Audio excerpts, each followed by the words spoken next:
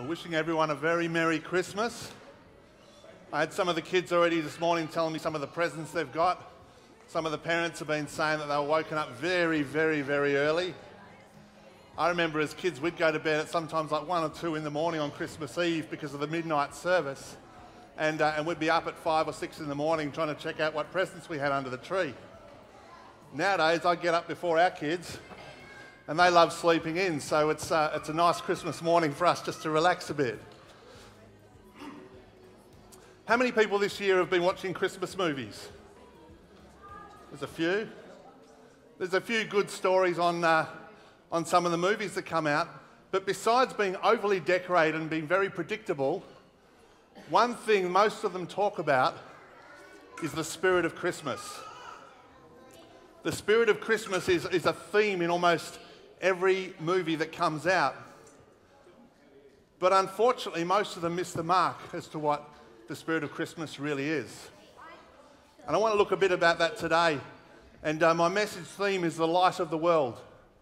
And we're referring to Jesus, who is the one we celebrate Christmas for. We celebrate because of Jesus Christ.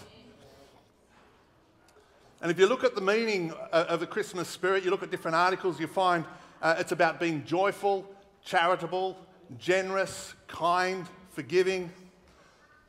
But just saying that's the Christmas spirit is a little bit like me saying, I've got this incredible sword, and then I pull out a scalpel. Now, granted, there's some similarities. There's a blade, there's a handle. But if I was to mention sword, you'd probably think of something like Lord of the Rings or some you know, monstrous thing that you can wave around and really do some damage with. And even though there's similarities in the two, they are still very, very different because each of them has a different purpose. And if we're going to look at the spirit of Christmas, we have to understand the purpose of the spirit of Christmas. And so, for us to do that, we need to look at something a bit deeper. The word Christmas comes from two words Christ's Mass. And the word Christmas actually was put together as one word in the mid 14th century. Yep. So the, the, the, the, word Christmas, we're going to look at the origin of this. It's an important part. And so we look at Christ's Mass. It's a celebration of the Eucharist or communion, which is a time we celebrate the death, burial, and resurrection of Jesus. So Christmas is actually not just a celebration of Jesus' birth, but his entire life, his death, burial, and resurrection, because the whole thing is a package. You can't have uh, a death without having a birth. We can't have the resurrection of Jesus without having a death. We can't have the ascension without him actually being resurrected. And so the whole story is much deeper than just a baby being born. It's the day we remember him coming into the world. But Christmas is actually much bigger when we look at it from God's perspective. In addition to that, the word mass also means a dismissal after receiving your orders. So, a soldier who stands before his officer and receives his orders, he leaves mass, I guess you'd call it, because he's been dismissed after receiving his orders.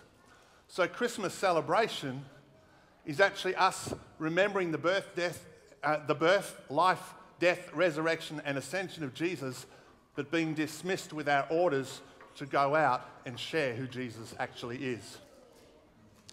And if we go back to Genesis chapter 3, we see that sin entered the world through Adam and Eve. And it was right back in Genesis that God actually started prophesying his rescue mission for mankind. And all the way through the Old Testament, all the way through the Bible, we see a red thread woven the story of redemption of Jesus Christ. And William, William Evans says, cut the Bible anywhere and it bleeds. The blood of Jesus stains every page, every book in both Testaments. God's atonement is a scarlet cord running through every page of the entire Bible. It's crimson red with redemption and truth. And if we jump to Luke chapter 1, we see uh, Mary actually receiving a, a visitation from the angel and from verse 26 to 33, it says, In the sixth month of Elizabeth's pregnancy, God sent the angel Gabriel to Nazareth, a village in Galilee, to a virgin named Mary. She was engaged to be married to a man named Joseph, a descendant of the king of David. Gabriel appeared to her and said, Greetings, favoured woman, the Lord is with you. Confused and disturbed, Mary tried to think. Mary tried to think what the angel told her. For you have found favour with God. You will conceive and give birth to a son, and you will name him Jesus. He will be very great and will be called the Son of the Most High the Lord God who gave him the throne of his ancestor David, and he will reign over Israel forever. His kingdom will never end. I think it's interesting the angel came and said to Mary, You are to name him Jesus. And most people, when they, they have a, a baby nowadays, they put a lot of time and effort into naming the baby. And I'm not sure if it's changed or not, but when, when Daniel was born, our oldest one, we were told by the nurse we had 60 days to name him. And so they give you lots of time to actually look at names. And many people will name people after, after people, after places, after colours. Uh, I'm named after my grandfather. I used to hate my middle name, Cornelius. Uh, I thought I was named after a rooster on Bugs Bunny or something like that, but it turns out my grandfather was pretty cool, so it's an honour to be named after him. But other name examples might be Holland, Nairobi, or Belgium. Oceana, cloud, snow, or even after a colour, periwinkle. Who would like to name their child Periwinkle?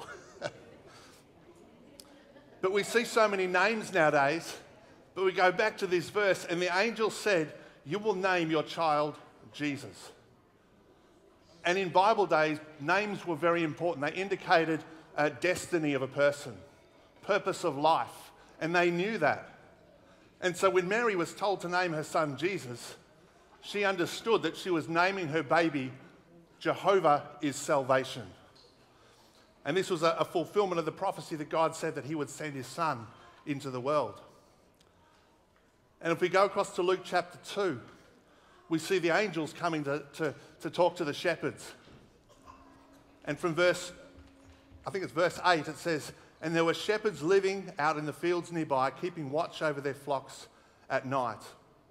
An angel of the Lord appeared to them, and the glory of the Lord shone around them, and they were terrified. But the angel said, Do not be afraid. I bring you good news that will cause great joy for all the people. Today in the town of David, a Saviour has been born to you. He is the Messiah, the Lord. This will be a sign to you. You will find a baby wrapped in cloths lying in a manger. It's interesting, it starts off, the angels say to the shepherds, Do not be afraid. And how many know there's a whole lot of things happening in the world today that cause people to be afraid? You listen to the media, and all you hear are stories of fear. I heard one stage several months ago when, when COVID was winding down, one person was diagnosed with COVID in New South Wales, and they called it the new epicentre in Australia. The media will give story after story after story that, that portray news and make sales. That's what they're about. But we shouldn't be looking at things that actually generate fear because God is the one who brings hope. He is the one who brings hope, and we celebrate Him on Christmas Day. So the angels say, Do not be afraid. I bring you great news news of joy that a Saviour has been born. And Christmas is a time we celebrate our Saviour being born. In John 8, verse 12, Jesus says, I am the light of the world. He who follows me will not walk in darkness, but have the light of life. He is the one our hope is in. He is the one our refuge is in. He is our protection. He is our shelter. He is the one who brings the possibility of peace. And Jesus says to us in Matthew, You are the light of the world. So he's gone from, I am the light of the world, to you are the light of the world. And this is partly where the Christmas story comes in, because we actually have that commission to be reflectors of his light into the world. Christmas has become a time when there are uh, presents, it's all focused on stories, it's focused on all sorts of things but we are to be reflectors of his light. And when Jesus says, You are the light of the world, a city set on a hill, I was listening to a message uh, just over the last week about the, the, the history of, of, of, archaeology and how um, cities were discovered throughout Bible times. And a lot of these cities were, were built actually on a hill. The hill was called a tell, T E L or T E L L.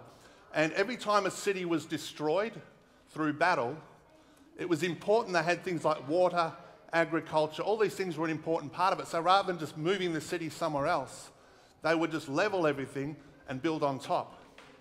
And over the course of thousands of years, you might have city after city after city after city built, and they become cities on a hill. But the thing is, a city on a hill cannot be hidden. Because within the city, you'd have, uh, within inside the walls, you'd have the rich people. They had all the money, they had the goods, they had everything there. They lived in the prime real estate. Then you had people who were middle class living on the walls. But outside the walls, you had the poor. And they would often look to the city as a place of hope, as a place of shelter, as a place of protection, as a place of provision, because the rich people would actually bring some of their excess to the city gates, which is where their welfare system operated from, and the poor would come to get their goods. The city gates were an important part of a city. The city was an important part of that whole region, because, like I said, the poor look to the city as a place of hope. And when Jesus says, You are a city on a hill, the light of the world, you and I are supposed to be a place of hope for the lost. People who actually reflect Jesus to the world. And when Jesus says, You are the light of the world, a city set on a hill, he was saying that just like he was, we are now called to continue that mission to bring his light to the world. And when he said, Go make disciples, he was commissioning us to his mission.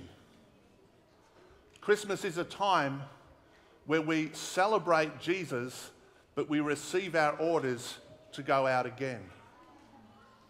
And as believers, as children of God, our job is to take his light and reflect it to the world. So that when people look at you and they look at me, they should see Jesus. And I know there's times that's not the case. But what I love is the fact that every time we fail, we can come before God and say, Father, I'm sorry. I've sinned, I've messed up, I want to go again. And when we look at a candle, we have this candle here in front of me. When a candle is lit, you see the flame.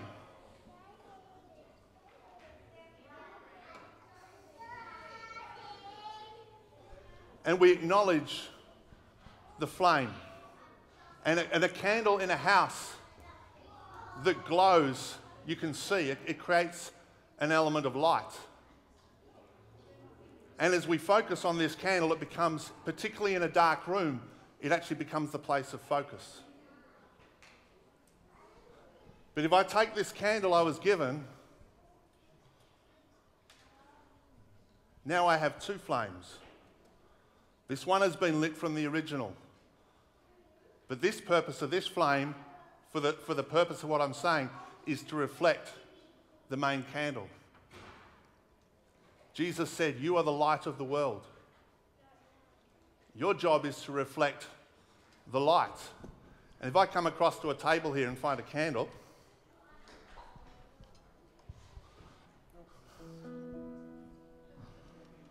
and I want you to continue spreading this around the room.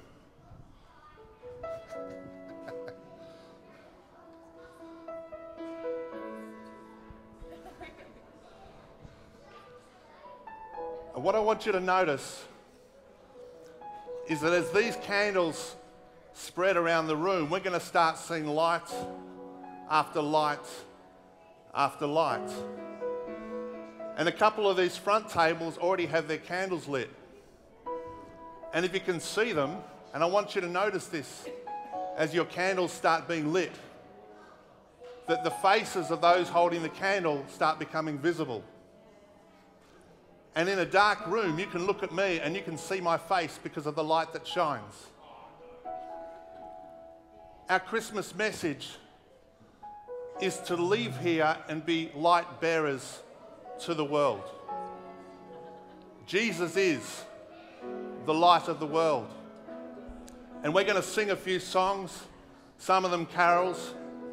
But I want you, as your candle is lit, to keep an eye on your flame.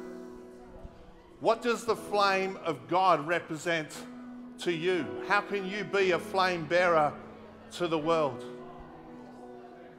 And as we sing, let this be a time where you say, God, I want to recommit my life to you.